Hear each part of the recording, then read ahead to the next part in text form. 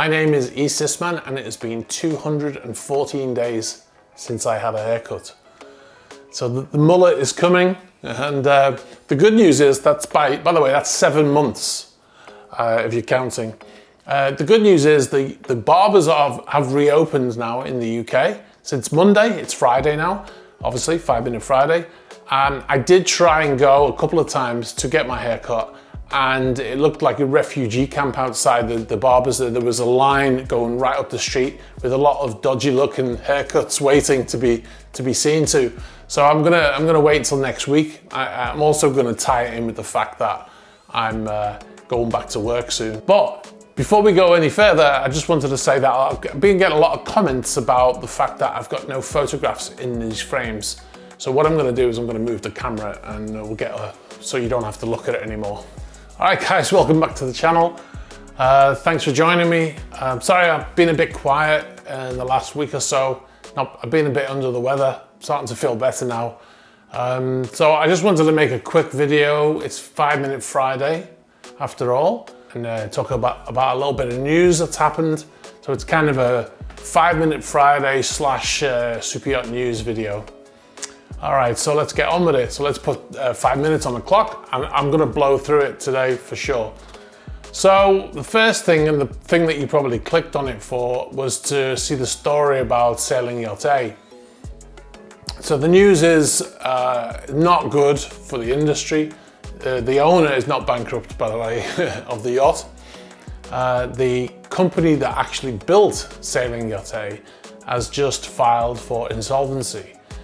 Uh, Nobiskrug, a very uh, famous um, super yacht builder and a shipping builder. Since 1905 in Germany, they've been in existence. And they've built some, uh, some notable super yachts, but before super yachts were a thing, they did some stuff, went through two world wars, they built stuff for the German Navy.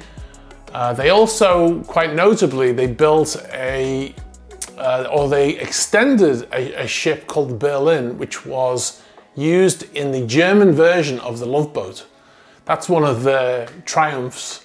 Uh, and then more recently, they've built some uh, notable super yachts, such as 777, uh, Tatoosh, owned by, uh, by the late Paul Allen, uh, super yacht Mogambo, and, uh, and obviously Sailing Yacht A is the most high profile yacht they've ever built. When I see a company that can build a yacht like Sailing Yacht A, you would think that there would be massive profits to be made in building a vessel like that, but apparently not.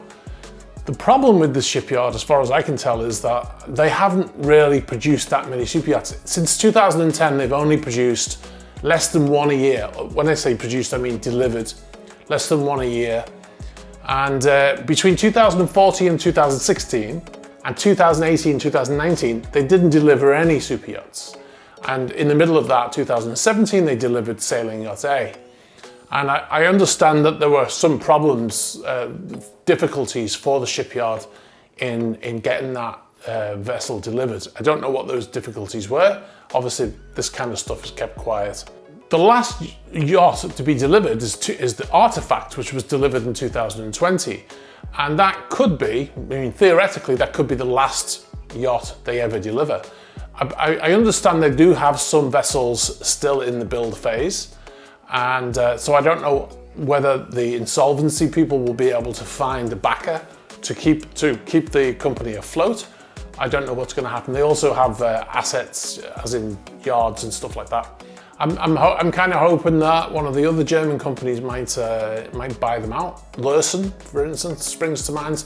They, they, they bought out Blohm Voss a few years ago and basically uh, they basically dismantled that company and just uh, integrated it into Lürssen.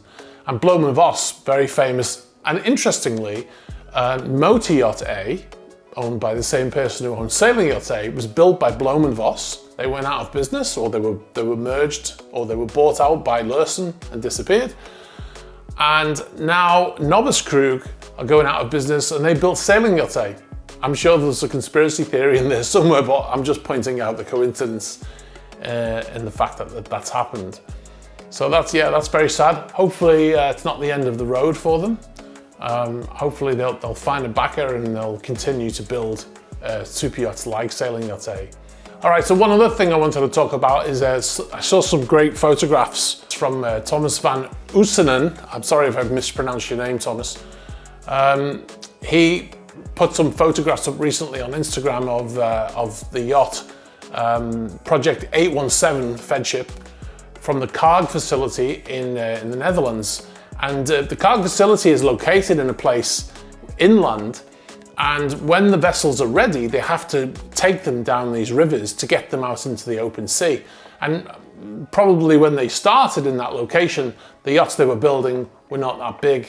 That wasn't a concern. But now the yachts are getting, this is a 94 meter yacht.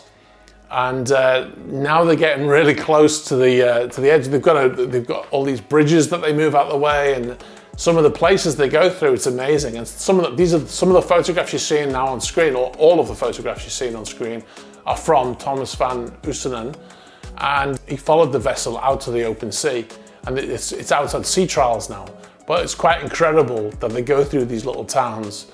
I'd love to see this myself. And I just wanted to show that um, because, of the, because of the pictures, because of what they actually have to do once they leave that facility inland and take them down these different rivers. It's quite incredible. All right, guys, so that, I'm gonna end it here. Uh, let me know what you think of, uh, of, if you worked at Nobiskrug or if you work there, uh, let me know what you think about this, if you've got any updates, because I, I, wasn't able to find any updates. It's only just happened. But if you know what's happening, uh, get in touch.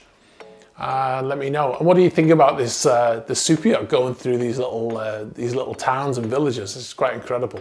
All right, guys, thanks very much for watching, and I'll catch you uh, next week. So have a great weekend. All right, bye bye.